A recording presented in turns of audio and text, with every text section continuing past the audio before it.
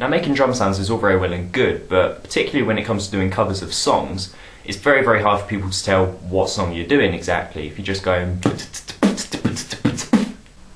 People can overcome this by humming bass lines or melodies while beatboxing, and humming while beatboxing is actually incredibly common.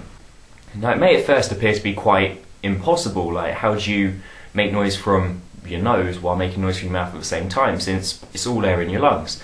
Now, you do this by making the sounds without using your lungs. The thing you need to understand when you're humming while beatboxing is that you're humming through your nose, not through your mouth. Instead of going ha or ha ha, you're going hmm hmm hmm hmm. So just pretend you've had a nice big dinner made for you and just go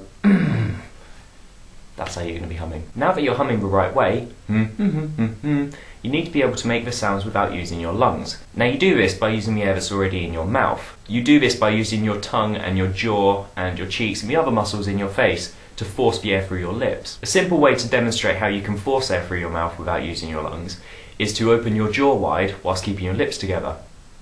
Like that. Now, if while doing that you hum, you can force your jaw shut, which forces air through your lips.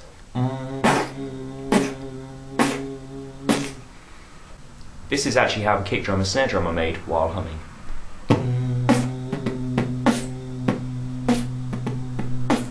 The hi-hat is done by forcing air through the gap between two of your teeth. Now when you're humming, you can still do this. It will just be a lot quieter. Another thing I found with hi-hats is it's very easy to do them while humming if you just make a tutting sound. Like, oh, you left the door open again. Now you can do this very easily while humming. Mm-hmm. And when done in slightly faster beats, it's very, very hard to tell the difference.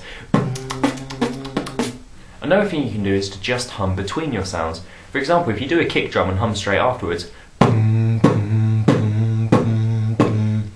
then you can still have the full power of the sound. And again, this can be very, very effective.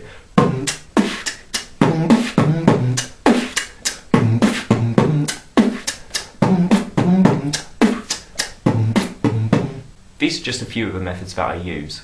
You really would be amazed at how many sounds you can do while humming.